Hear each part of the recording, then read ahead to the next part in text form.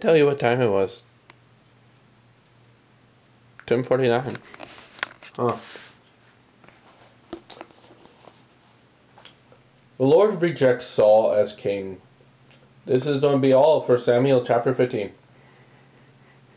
Well, that was simple. Samuel said to Saul, I am the one the Lord sent to anoint you king over his people Israel. So listen now to the message from the Lord. This is what the Lord Almighty says I will punish the Eglamites for what they ha- they did to Israel when they when they waylaid them as they came up out from Egypt. Now go attack the Amalekites totally destroy.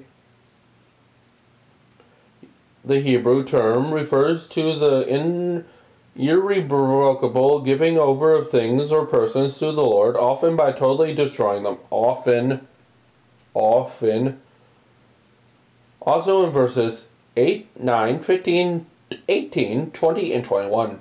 So, you know, when destroyed, that's just what it means. Anyway, all that belongs to them, do not spare them, put to death men and women, children and infants, cattle and sheep, camels and donkeys.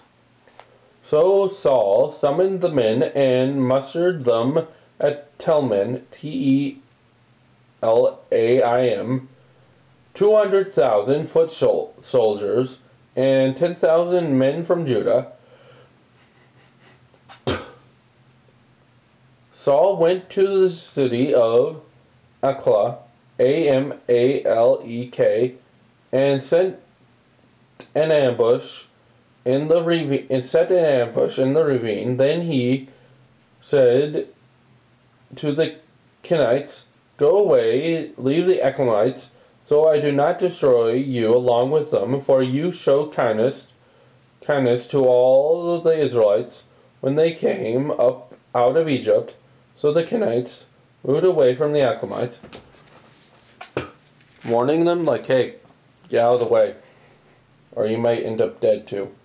Then Saul attacked the Eklamites all the way from Havah, H A V I L A H, to Shur, S H U R, near the eastern boundary, no, near the eastern, eastern border of Egypt.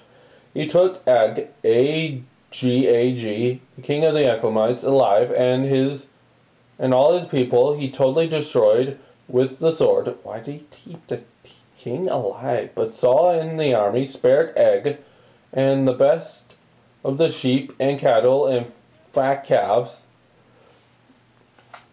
why of all the things you want to keep alive do you keep the king alive? That just seems random.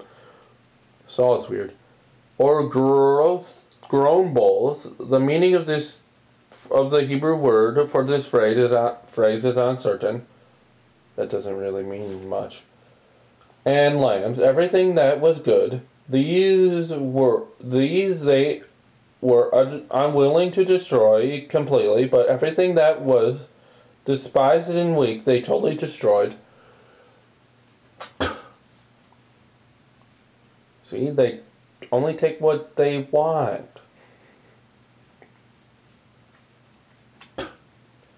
Then the word of the Lord came to Samuel I regret that I have made Saul king, because he has turned away from me and has not carried out my instructions. So Samuel was angry. He and he cried out to the Lord all that night. Early in the morning, Samuel got up and went to meet Saul, but he was told, "Old." Saul has gone to Carmel, Carmel, C A R M E L. There he had set up a monument in his own honor and has turned and gone down to Gil, G I L G A L. totally, totally was too self centered.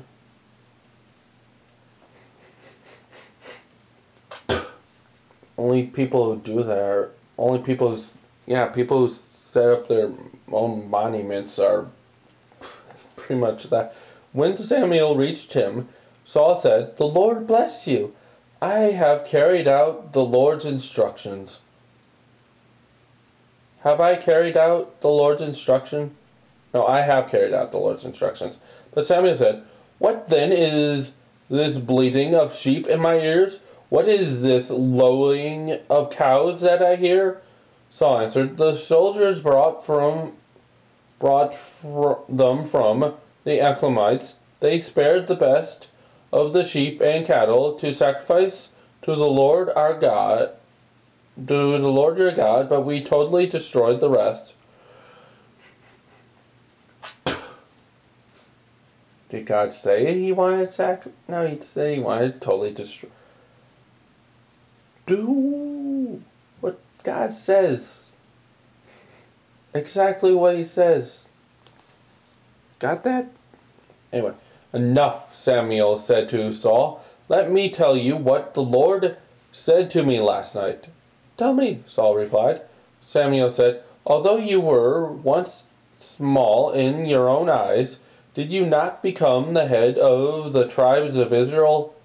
The Lord anointed you king over Israel, and he set you on a mission, saying, Go and completely destroy those wicked people, the Ephraimites, wage war against them until you have wiped them out.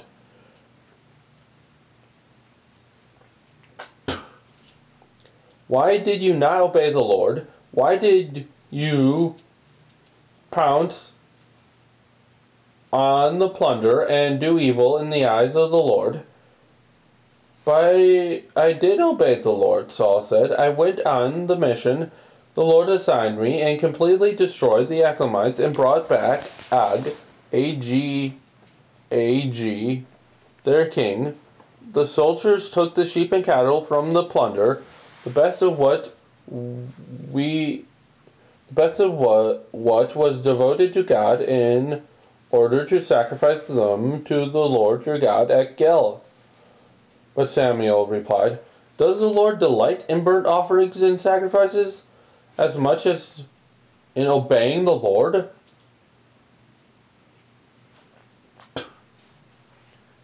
Hmm. To obey is better than sacrifice, and to heed is to is better than the fat of rams. For rebellion is like sin of is like the sin of devastation, and arrogance is and arrogance like the evil of idolatry. Yes, because you yourself are the idol to yourself. Because you have rejected the word of the Lord, he has rejected you as king. Then Saul said to Samuel, I have sinned, violated the Lord's command and your instructions. I was afraid of the men, and so I gave them gave in to them. Now I beg you, forgive my sin, and come back with me, so that I may worship the Lord.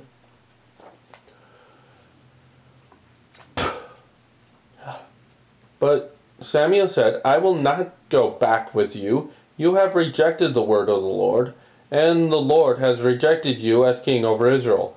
As Samuel turned to leave, Saul caught hold of the hem of his robe and tore it. Samuel said to him, The Lord has torn the kingdom of Israel from you today, and has given it to one of your neighbors, to one better than you. He who is the glory of Israel does not lie or change his mind, for he has not for he is not a human being that he should change his mind.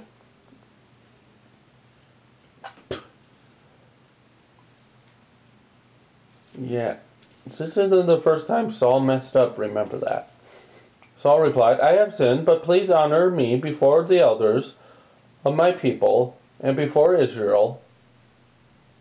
Come back with me, so that I may, so that I may worship the Lord, your God. And look, he keeps on saying your God, not our God. So Samuel went back with Saul, Saul, and Saul worshipped the Lord. Then Samuel said, Bring me Ag, king of the Achlamites. Ag came to him in chains. The meaning of this Hebrew word is uncertain, so it might just mean something closer to chains, but they're not completely sure. And thought, Surely the bitterness of death is past.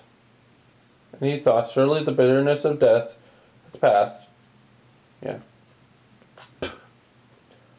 But Samuel said, As your sword has made women childless, so will your mother be childless among women. And Samuel put Og to death before the Lord at Gil, G I L G A L. Then Samuel left for Ramah R A M A H. But Saul went up to his home in Geba, G I B E A H, of Saul.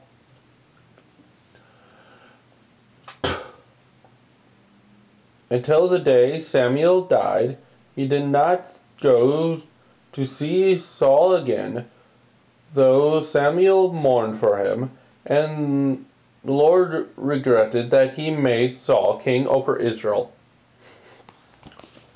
Whew. That was a long one. Do you know what's coming up next? Tomorrow. Because it's 11.01, it's 11, and that means we